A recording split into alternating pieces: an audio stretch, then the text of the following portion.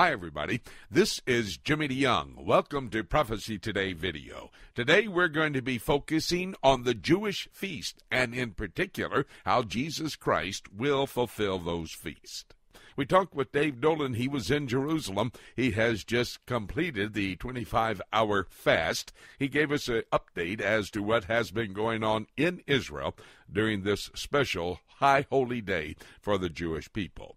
We had a pre recorded interview with Itamar Marcus, and as a Jew, he told us how he was preparing for Yom Kippur and what they would do during the 25 hours. Steve Herzig, the national director for Friends of Israel, actually got in into a discussion with us about Yom Kippur and how that has been played out today since there is no temple for the high priest to go into the Holy of Holies and put the blood, the sacrificial blood, on the mercy seat on the Ark of the Covenant.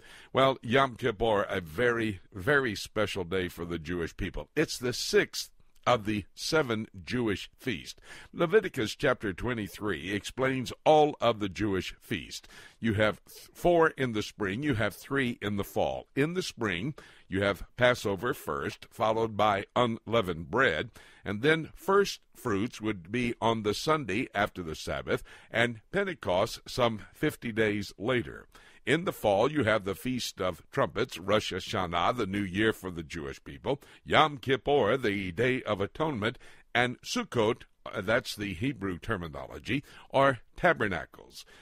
The first three feasts were fulfilled by the person of Jesus Christ, and the fourth one by the Holy Spirit, which Jesus promised would come.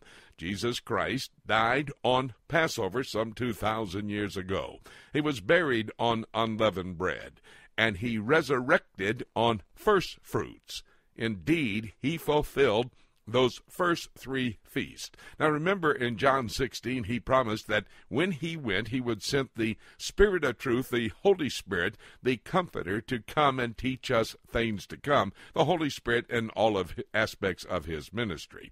Well, on that 50th day after first fruits, on the day of Pentecost, the Holy Spirit did come down as recorded in Acts chapter 2.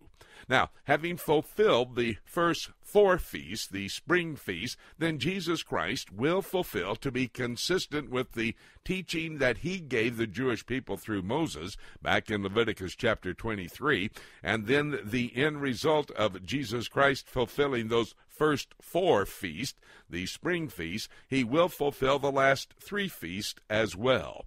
The Bible tells us that in Matthew 24, after Jesus Christ has come back to the earth, verse 31, he turns and tells the angel to blow the trumpet and call all the Jews in from all four winds and every part of heaven. They are to come to Jerusalem. That's what the Feast of Trumpets is all about. It's uh, one of those feasts that when the Jewish people want to celebrate it, they go to the Temple Mount in the city of Jerusalem. They take their shofars out and they blow it in honor of what took place 5,771 years ago, since the new year for the Jewish people is 5771. That's when God created Adam and Eve in the Garden of Eden.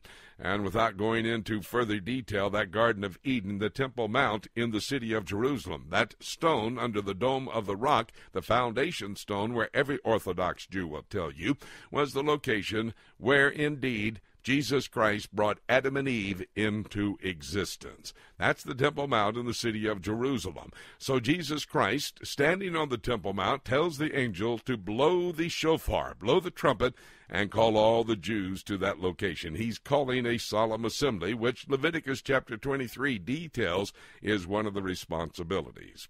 What's going to happen then? Jesus Christ will rebuild the city of Jerusalem, making it 2,500 square miles, according to the book of Ezekiel. Also, the Temple Mount will be one square mile, and Zechariah chapter 6 verse 12 says that Jesus Christ will build a temple on the Temple Mount. It will be a 21 story high edifice. It will be the Messiah's temple, the one that he will rule and reign from during the millennial kingdom. It will be a fulfillment of the Davidic covenant to the Jewish people, where God promised King David many years ago that indeed there would be a temple on the Temple Mount and a Messiah the son of King David, or one of the sons, ultimately his heritage, would be the ruler, the King of Kings and Lord of Lords, from that temple. That will be the fulfillment of Jesus Christ returning, and he returns after he comes back from the Battle of Armageddon, going to uh, the location of Petra, and gathering in the Jewish people. Isaiah 63 says he marches from the Jezreel Valley over to Petra, where he has prepared a place to protect the Jewish people in the last three and a half years, comes by way of the east, that's Petra, east of Jerusalem, over the Mount of Olives, across the Kidron Valley, into the eastern gate, and into the Holy of Holies. The book of Hebrews, chapter 9, says, The high priest in times past once a year would go into the Holy of Holies, but now in the end of time, Jesus Christ goes one time into the Holy of Holies. He does that on Yom Kippur. That's the day of national salvation. And Zechariah chapter 9 and verse 3 says, or excuse me, chapter 3 verse 9 says that in a day the Jewish people uh, turn to Jesus Christ. Four days after that, you have the Feast of Tabernacles in the agenda for the three fall feasts.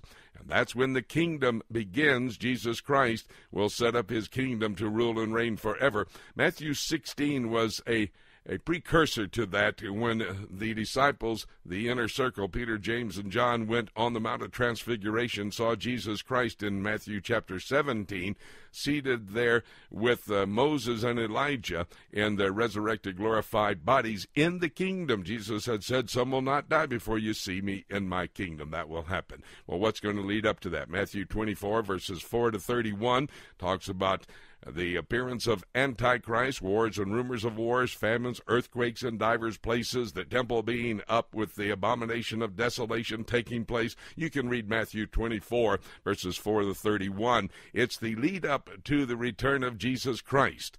Indeed, we are living in that time when these three fall feast can be fulfilled by the person of Jesus Christ. But remember, seven years before he comes back, we have the rapture of the church when Jesus shouts, the archangel shouts, the trumpet God sounds, and we leave this place. With all the discussion we've had on the broadcast today, it's looking like Matthew 24, 4 to 31 is about to be fulfilled. Christ is about to come. And that means the rapture could happen at any moment. And having said that, nothing left for me to say except let's keep looking up until.